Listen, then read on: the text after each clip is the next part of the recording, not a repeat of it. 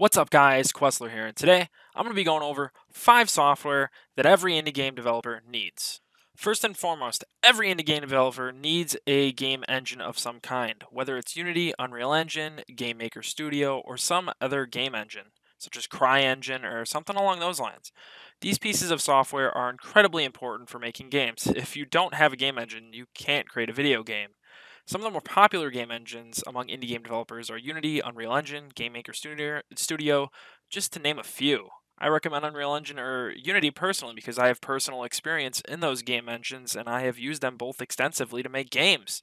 And both of them are very powerful game engines and are very useful for making games. Such as my game, The Amazing Ball. I'm using Unreal Engine to make it, and it has suited my needs very nicely, including making the graphics look quite nice and it is quite easy to use and personally, I enjoy using Unreal Engine. Uh, Unity is also really good too, especially for trying to make a 2D game. Uh, Unity has 3D capabilities, but I personally believe that Unity is more suited for 2D, and its simplistic design and um, easy to use interface makes it easy to make games and get started very quickly. So, those are my two recommendations for game engines. The second piece of software that every indie game developer needs is some sort of photo editing software, whether it's GIMP, Photoshop, Paint.net, or some other photo editing software.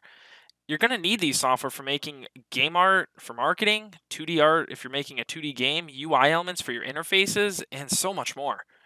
Depending on the game you're making, different photo softwares may suit your needs a bit better. For example, if you're making an 8-bit style 2D side scroller, then you might want to consider using Aseprite or some other 2D pixel art software.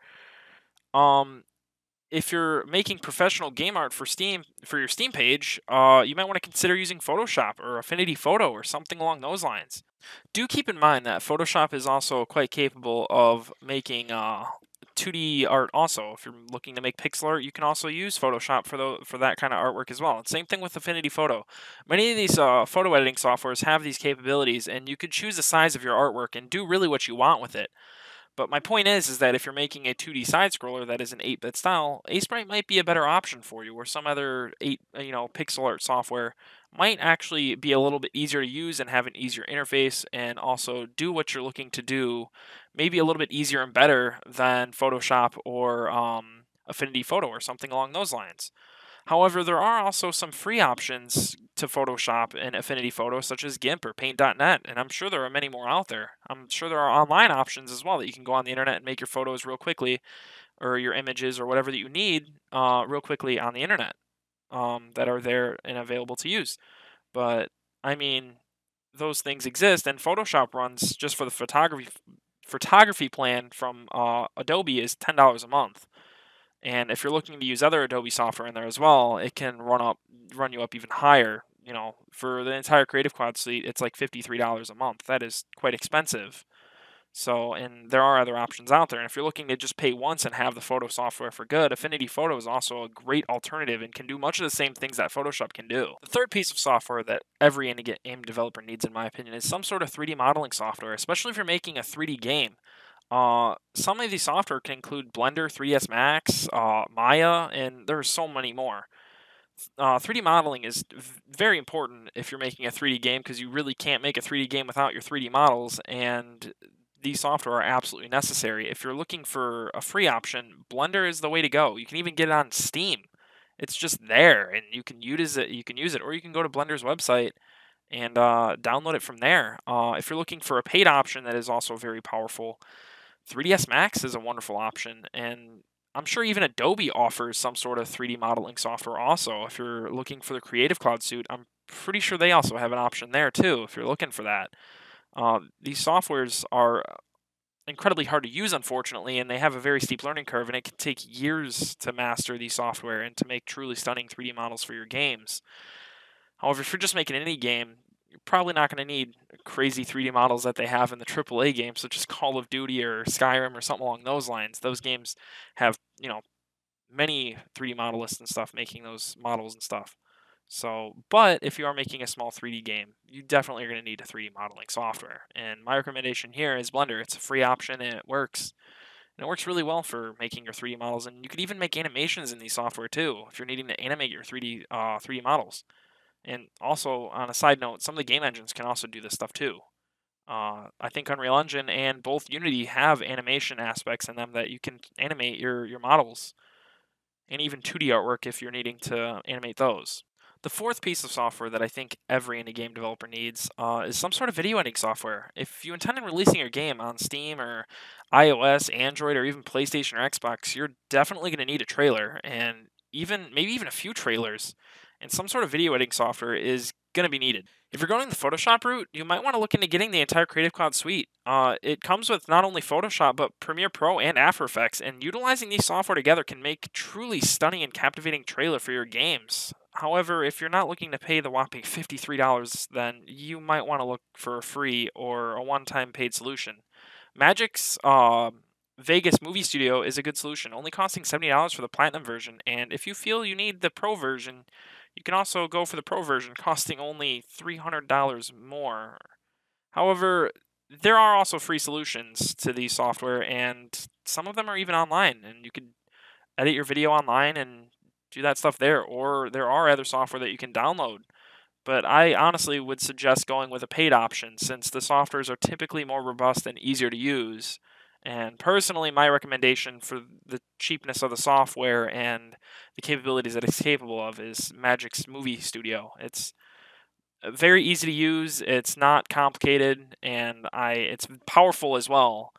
And I think that if you're making a trailer, um, most likely you're going to be taking footage from your game engine and you know editing it and chopping it up and doing some basic editing to make your uh, your trailer and obviously adding some music to it as well. So I think uh, my recommendation here is Magix Movie Studio. Um, it's it's a good option. It's cheap. It's only seventy dollars for the platinum version, and sometimes it can even bundle in a music making software in there too, which leads me on to the next section that we're going to be going over. The last item on the list, uh, music making software. What game does not have some sort of music track playing while you're playing the game? Not many, right? Uh, so I feel indie game developers need some sort of music making software. Some of these software might come with your video editing software, actually, like I just mentioned before. Uh, Magix Movie Studio comes sometimes with Magix Movie uh, Music Maker bundled in there with it. And if you're looking for a more professional and better option, FL Studio is also a wonderful option. Um, but there are also free options out there. There are some websites that allow you to make uh, small little music snippets and stuff and allow you to have drop in tracks and stuff that'll make it really easy to make an interesting song for your games. And some of them are even, you know, you could either pay for them or royalty free, and you could totally use them and make some very interesting uh, songs for your game. But I mean, still, uh, if you're trying to make a more professional game, you're probably going to want, um, especially if you plan on releasing it on a platform such as Steam, you're definitely going to want a more professional music option. So, but these softwares can also allow you to make sounds and such for your game too. Um, I mean, heck, you could even use Audacity to make your sounds for your game if you're needing game sounds. And, you know, some of these sounds, you're going to need game sounds. So, and the software allow you to manipulate them and make them interesting and unique if you are needing to do that. Since they are music making software, they also allow for audio editing as well. So these softwares have many capabilities and are definitely needed if you are intending on making a video game. Overall, I feel that all these softwares are important and you are definitely going to need at least some sort of the software that I have listed here. You're going to need a game engine for sure. Um, if you're not making a 2D, if you're not making a 3D game, you're not going to need a 3D uh, modeling software, but you're definitely going to need a photo editing software for sure.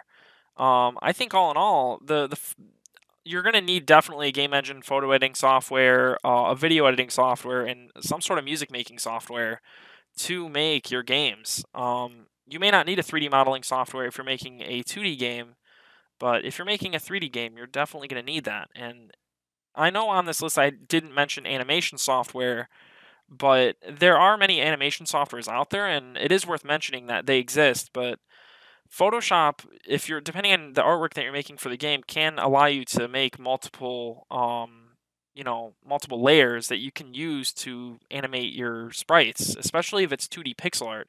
And Aseprite even offers some sort of animation software for your sprites as well. And even if you don't use those software for that, Unity and Unreal Engine both have animators in them that you can animate your 3D models and uh, your 2D sprites in just the engine themselves. So I didn't feel it was that big of a deal to not mention these software, but if you really need software to, you know, animate, Maya is also a wonderful option also.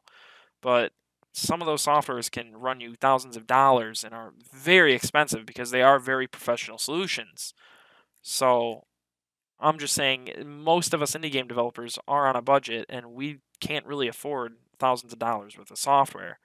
So all in all, my recommendations for the software that you should use is either Unreal Engine, uh, Unity, or Game Maker Studio, your engine of choice.